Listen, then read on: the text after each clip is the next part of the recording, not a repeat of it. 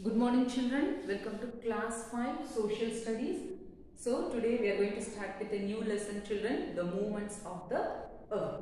So first people were thinking that the earth is uh, round and it is uh, uh, revolving uh, not around the sun children. So a famous Polish astronomer named Nicholas Copernicus children. Nicholas Copernicus. Okay, he is a Polish astronomer children. Polish astronomer. Okay, Polish is a uh, the person. We say uh, we are Indian no children like that. People from Poland country are called Polish. Astronomer means a person or a scientist who studies about the space, universe, planets, sun and all no children. They are called as astronomers.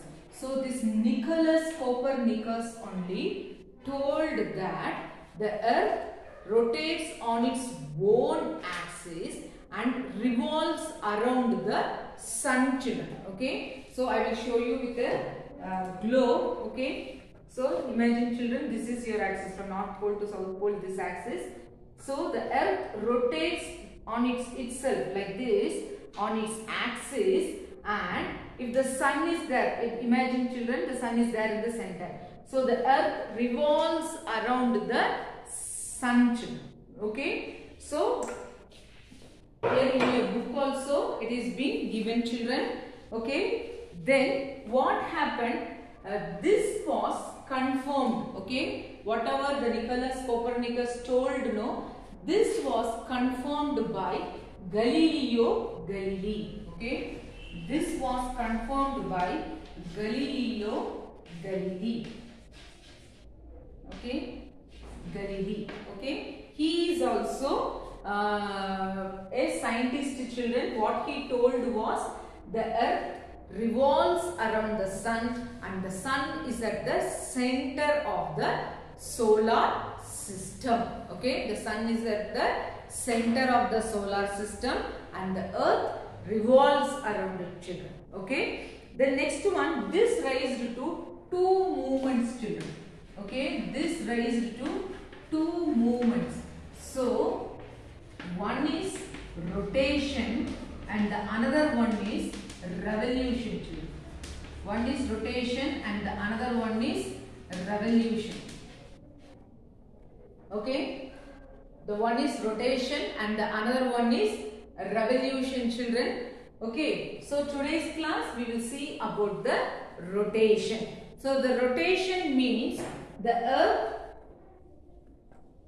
movement. Okay. The earth is moving on its own axis children is called as rotation. The earth moving on its own axis. So imagine an axis over here. So the earth is rotating on its own axis is called a rotation children.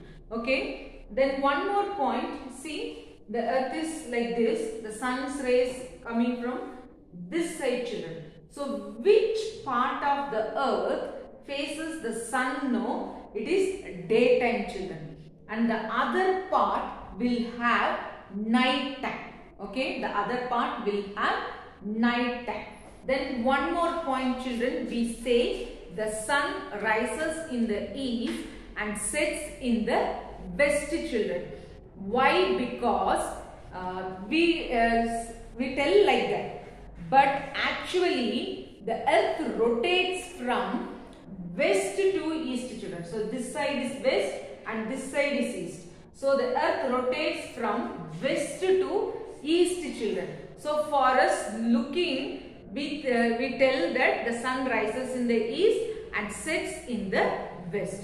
So do you know children how much time the earth takes to revolve, uh, uh, rotate around? It takes 24 hours children. Okay. It takes 24 hours to rotate on itself children. Okay. So this rotation of this earth causes only day and night. Where it gets the sunlight, that part it is day. As the earth moves, no, so it gets, the other side gets night. So it is a rotation basis children. Day and night like that it is going on. Okay, with the earth children. Then what happens as the earth is tilted, no children, see, it is not straight like this. It is tilted like this.